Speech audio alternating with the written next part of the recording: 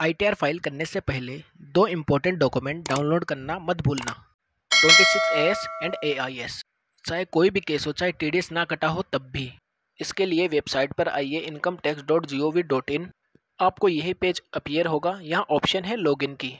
अगर आपने रजिस्टर नहीं किया तो पहले रजिस्टर करिए। अगर रजिस्टर कर लिया है तो फिर लॉगिन करिए। PAN based of login login कर लेने के बाद आपको यही डैशबोर्ड अपीयर होगा।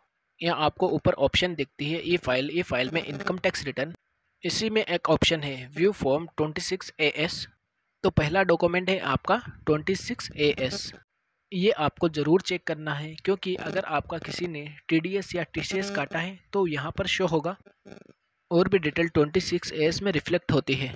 इसलिए एक और इम्पोर्टेंट डॉक्यूमेंट रहेगा सर्विसेज़ में जाकर एनुअल इन्फॉर्मेशन स्टेटमेंट तो दोनों को हम डाउनलोड कर रहे हैं। डाउनलोड के लिए हमको जाना है twenty six S. Income tax return में ट्वेंटी सिक्स एस। क्लिक करना है इस पर। क्लिक करने के बाद आप नेक्स्ट पेज पर आ जाएँगे। फिर प्रोसीड कर दे। प्रोसीड करने के बाद ऑप्शन आ रही है view twenty six A S. इस पर क्लिक कर लें। अब आप पहुँच गए ट्वेंटी सिक्स ए एस के पेज पर।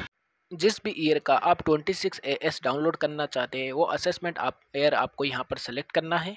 मैं कर रहा हूँ ट्वेंटी थ्री, ट्वेंटी फोर का। इसको यहाँ पर क्लिक कर लिया है। यहाँ पर व्यू एज कैसे व्यू एज करना चाहते हैं? H T M L download के लिए भी पहले आपको इस पर ही क्लिक करना पड़ेगा। व्यू या डाउनलोड इस पर क्लिक करिए। जैसे ही आप इस पर क्लिक कर देंगे, देखिए ऑप्शन एक्टिव हो गई एक्सपोर्ट एट पीडीएफ साथ ही हम नीचे स्क्रॉल करेंगे तो आप नीचे यहाँ पर आपको पूरा आपका 26 एस दिखाई देगा। किसी ने आपका टी डिडक्ट किया होगा, किसी ने 15 जी 15 एच सबमिट किया होगा 94 बी में ट्रांजेक्शन होंगे। यहाँ पर भी आप देख सकते हैं, अपना पूरा का पूरा 26 एस में आपको सजेस्ट कर रहा हूँ। यहाँ से डाउनलोड करके आप इसको सेव कर लें। एक्सपोर्ट टू पीडीएफ पर क्लिक करें, नीचे आपकी फ़ाइल डाउनलोड हो जाएगी और डाउनलोड होके कुछ इस तरह का 26 एस आपके सामने आ जाएगा। अगर किसी ने आपका पार्ट वन में टीडीएस काटा है तो वो सारी डिटेल दिखेगी। कैन ऑफ़ डिडक्टर कितना टीडीएस डिडक्ट करके कितना जमा करवाया। मैक श्योर आप ये ज़रूर इंश्योर करें, किसी ने आपका अगर टीडीएस काटा है यहाँ पर ज़रूर रिफ्लेक्ट होना चाहिए। इसके अलावा डिटेल है test deducted at source 15 G and 15 H अगर आपने बैंक में 15 जी एच सबमिट कर दिया था तो कई बार यहाँ पर इनकम डिपोर्ट कर दी जाती है टी का अमाउंट नहीं आता।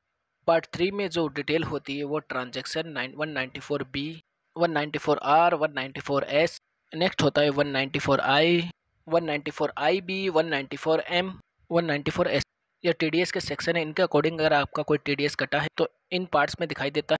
आजकल आपके ट्वेंटी सिक्स एस में, अगर आपने खुद ने कोई टैक्स भरा है तो वो रिफ्लेक्ट नहीं होता है।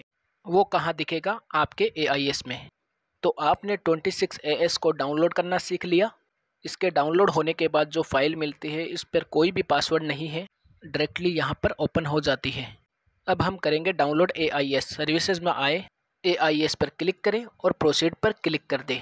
आप एक अलग पेज पर चले जाएँगे। यहाँ पर आकर आपको ऑप्शन मिलेगी ए आई एस की। इस पर आपको क्लिक करना है।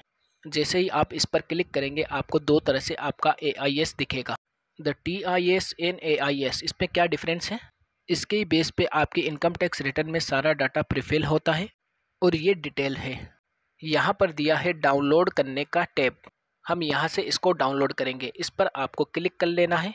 जैसे ही आप क्लिक करोगे, तीन तरह का डाउनलोड ऑप्शन यहाँ पर अवेलेबल होगा। पीडीएफ में चाहते हैं आप? जे में चाहते हैं? ये किस लिए काम आता है? अगर आपको ए आई में किसी भी ट्रांजेक्शन पर फीडबैक देना है, ट्रांजेक्शन बहुत सारी है तो आप इसकी यूटिलिटी डाउनलोड करके, करेक्शन करके जे फ़ाइल में अपलोड कर सकते हैं। कंसोलिडेट फीडबैक के लिए पीडीएफ यहाँ पर है। हमें जो ए डाउनलोड करना है वो ये है। अगर एआईएस में कोई इन्फॉर्मेशन नहीं होगी तो वो डाउनलोड नहीं होगा। जिनका एआईएस ब्लैंक होगा तो वो डाउनलोड करने की ऑप्शन आपको नहीं मिलेगी।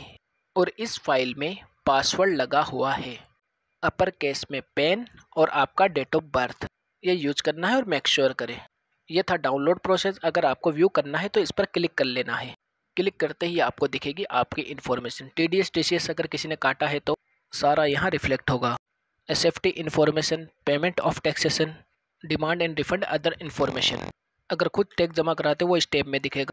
और टी आर एस में आपकी हर तरह की इनकम रिपोर्ट की जाती है आपके पेन के अगेंस्ट आप कोई भी अकाउंट कंसील नहीं कर सकते। आपकी कोई ऐसी इनकम है जो एआईएस में तो आ रही है, लेकिन आपने आईटीआर में नहीं भरी तो आता है इनकम टैक्स डिपार्टमेंट से हंड्रेड परसेंट नोटिस तो ऐसे में आपको हंड्रेड परसेंट नोटिस रिसीव होता है। ऐसी गलती नहीं करनी कि आपके एआईएस में तो इनकम आ रही है। आपने एआईएस को इग्नोर कर दिया। इसको इग्नोर कर दिया और अपने हिसाब से आईटीआर भर ली। तो नोटिस आएगा डाउनलोड होने के बाद ऐसा दिखता है आपका A I S one information in T D S and T C S तो सारी इन्फॉर्मेशन आपको मिलती है जैसे सेक्शन 194 में। डिविडेंड दिख रहा है। लाइफ इंश्योरेंस कॉरपोरेशन का amount twenty two rupees quarter दिख रहा है। नीचे डेट ऑफ़ पेमेंट दिख रही है। अमाउंट दिख रही है अमाउंट पेड और क्रेडिट पे कितना टीडीएस कटा है? कितना टीडीएस कटा है वो ये है। ये टीडीएस नहीं है, नीचे वाला अमाउंट टीडीएस है। तो गलती नहीं करनी है एआईएस को देखना भी आना चाहिए आपको ध्यान से। टीडीएस का अमाउंट यहाँ लिखा है। नीचे बिज़नेस की रिसिप्ट अगर होगी आपकी, वो दिखाई देंगी। जैसे इस केस में कुछ रिसिप्ट आ रही है, नीचे स्क्रॉल करेंगे तो एआईएस में आपने कुछ टैक्स भी भरा होगा तो वो भी आपको यहाँ पर दिखाई देगा।